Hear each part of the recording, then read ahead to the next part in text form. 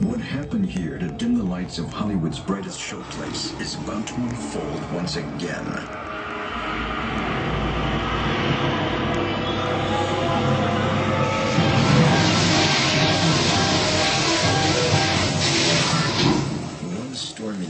Long ago, five people stepped through the door of an elevator and into a nightmare.